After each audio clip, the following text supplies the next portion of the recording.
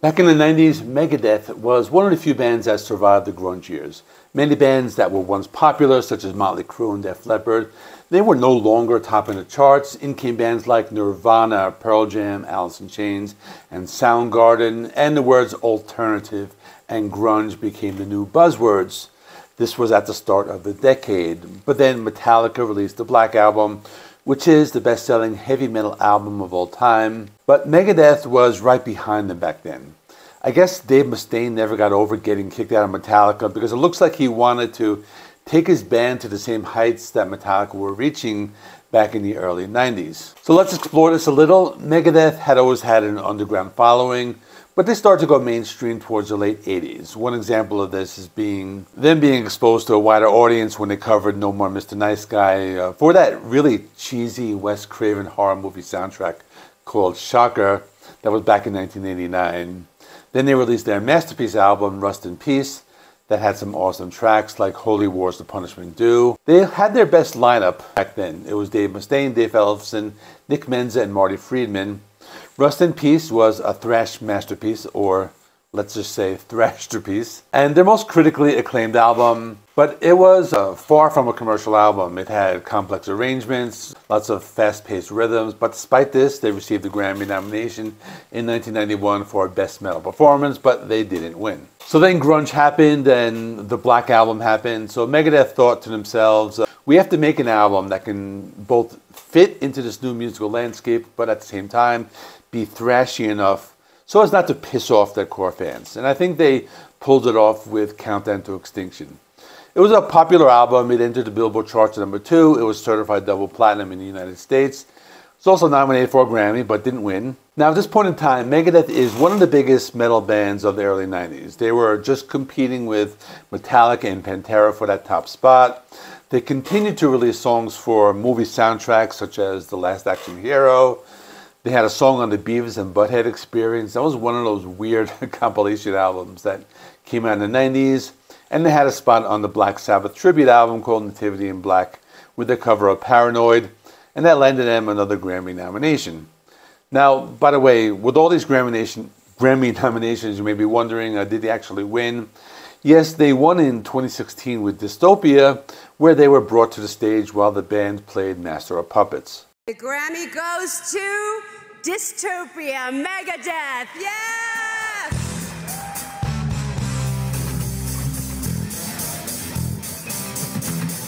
But back to the main video. You're probably wondering uh, when am I going to start talking about Youthanasia, which is the main topic of the video.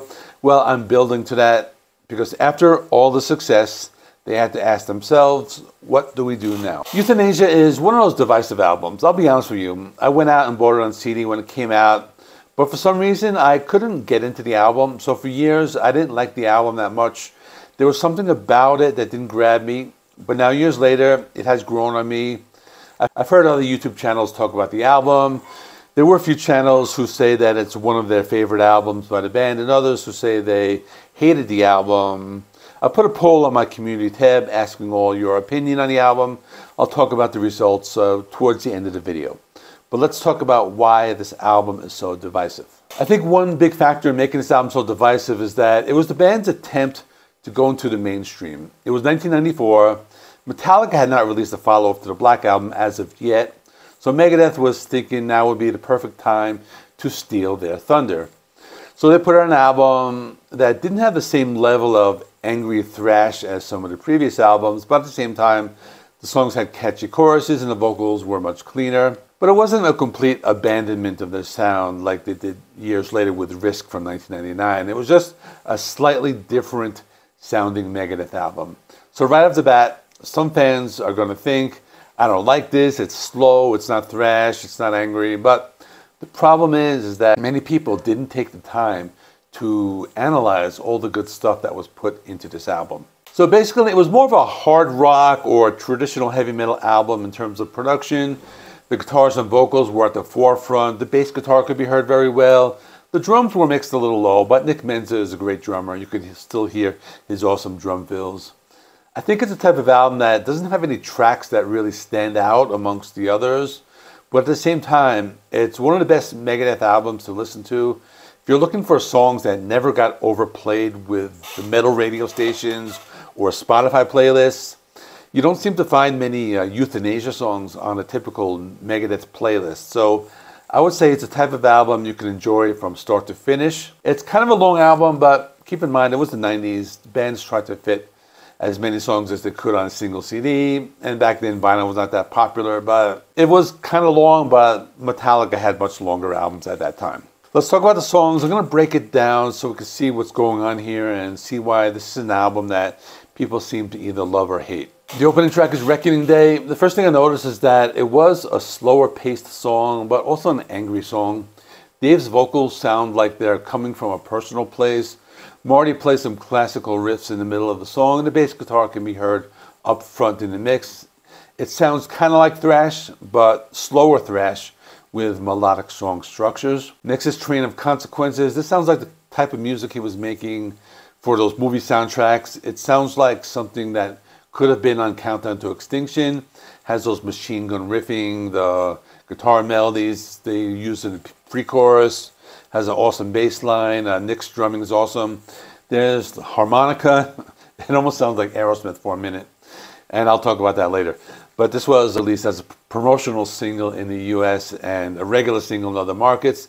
It reached 29 on the U.S. mainstream rock charts, and according to Dave Mustaine, the song is about gambling and the consequences of it. Next is Addicted to Chaos. This might have the best drum intro on any Megadeth song. Another song that sounds like slow thrash but with lots of melody.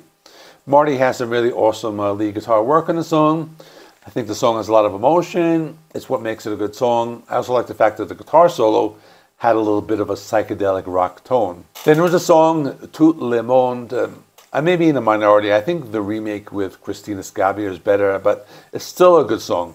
This was one of the few ballads that they've ever done. I think it may be one of the first ballads if you don't count In My Darkest Hour. And I know there were a few more, such as Foreclosure or Dream, but it was the 90s and all metal bands did ballads. Plus, it was released as a single. It made it to 31 on the mainstream rock charts. When the song came out, there was a little bit of controversy because MTV thought it was encouraging people to unalive themselves. But then Dave Mustaine released a statement saying that it's not about that. It's about when a loved one passes away and you wish you could say something to them before they go. And that's why they have the line, These are my last words, I'll say to you now, you set me free. It's a way of saying goodbye to somebody before they die. At this point in the album, there are some pretty good deep cuts. The next song is Elysian Fields. It's a pretty cool underrated track. It's a darker sound. It has that melodic groove sound that they used on the Countdown to Extinction album. Another song that's not a thrash metal song, I would say more of a heavy metal song, but I like the darker tone of the song. It's another one with those Aerosmith styled harmonicas, and I never really noticed that before, but I had to look it up, and it's played by another musician, and these are the only two songs that have the harmonica on it, and the the guy who plays it is Jimmy Wood. He's another musician. After this is Killing Road, another song with a darker tone and some awesome guitar riffs. It might have some of the best guitar riffs on any song on any album, and maybe uh, the most Megadeth sounding song on the album. This one has Marty Friedman's best guitar solos and uh, pretty much maybe one of his best guitar solos of all of his albums. After this is uh, Blood of Heroes. It was kind of a slower paced thrash song. It had those angry riffs and awesome melodies with the lead. Guitar solo was very good. It was the kind of solo that had more melody and not as much as that flashy technical playing that many bands try to do. And then we come to probably their darkest song lyrically. That's Family Tree. The song might not be that heavy. Kind of sounds like a hard rock song. It has this hard driving bass line, but the lyrics are about, let's just say, abuse taking place in a family. I think the song's okay, but to be honest, it's not one of my favorites. If I had to pick a weaker one, this would be it. And then after this is the title track. Another good song because they use those palm muted guitar riffs, but another one of those slower pace songs. Another one I thought was just okay. If I were ranking the tracks, this would also be at the lower end, but it's still pretty good. I'm just saying these last two songs made the album drag a little bit. But now I think we get to the point in the album uh, where there's one of their hidden gems. It is a song I thought I knew it all. I really like the song. It has cool foot stomping rhythms, some awesome melodic guitar playing. Dave and Marty really do that twin guitar really good. One of the better deep cuts. It's catchy, it's memorable, has great guitar riffs. There are two more songs on the album, and they're called Black Curtain and Victory. Black Curtain is a pretty cool track. It's maybe like one of like the thrashiest tracks on the album. Had a sound that was closer to some of their older albums from the 80s. Although not a very fast-paced song, it still had a little bit of that thrash in it. Victory was a weird song, kind of, I don't know, like a filler track almost, because Dave Mustaine is like naming a bunch of old Megadeth songs in the lyrics, but it's okay, it's decent. I like the bass guitar sound of this one. So now let's take a look at the poll. So this screenshot here, it was put up eight hours after I put up the poll. So only 6% of the people said it was a sellout. They abandoned their sound. So out of 18 votes, so maybe like only like two or three people really didn't like the album. Everyone else was pretty positive. 22%, it was a decent album, not their best, but I still enjoyed it.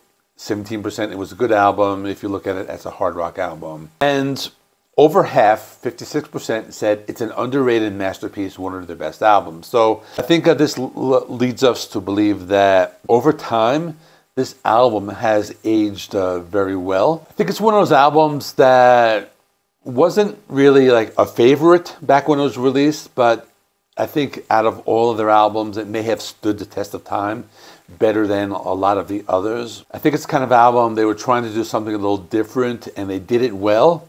So I think the final verdict is that it's an underrated masterpiece. So that's all. Check out my other review of another Megadeth album that people really don't like, and that's Risk. And in this video, I try to come to its defense. I'm not really sure if I'm very convincing of it, but I've always liked Risk. But in the meantime, like this video, helps me with the YouTube algorithm. Please subscribe if you're not already. I do rock and metal reviews, rankings, and more. I have merch, I have memberships. So thanks for watching. See you in the next one.